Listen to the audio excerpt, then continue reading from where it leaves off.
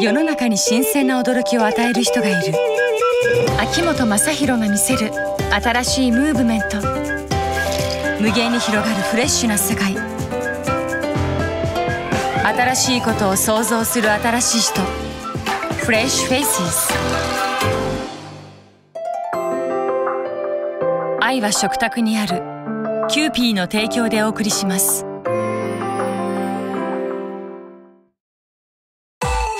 フレッシュフェイス in the case of 正弘秋元日本の山には様々な業種の人たちがいろんな課題を持って働いている。その中で誰に頼んだらいいかわからない仕事を請け負っていきたいなと。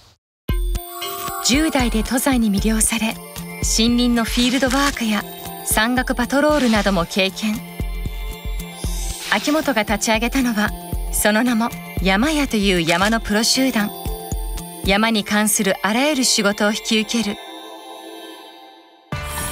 木の幹の太さなどを測る定期計測。これで地域の地質や水源の状態を把握でき防災に役立てられる。大きな荷物の運搬。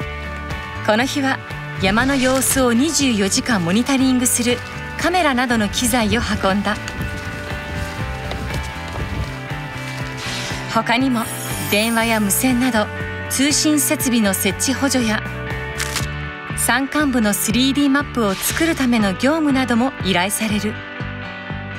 今はまだ普段山に登っていない方たちだけで業務に当たってることが多いので僕らが支えていくような流れができたらいいなと思ってます。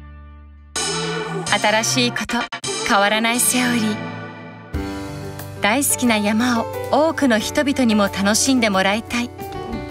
秋元は地元の林学専門家とともに森林公園づくりにも携わっている。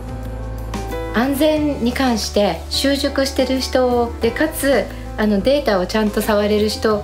ていうのがいなくてでちょうど秋元さんがすごく早く確実な仕事をしてくれるので本当に助かってます。フレッシュフェイスその先は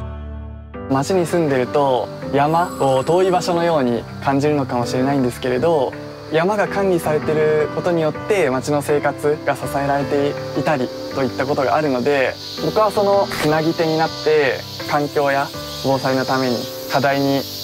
向かっていきたいなと思ってます愛は食卓にある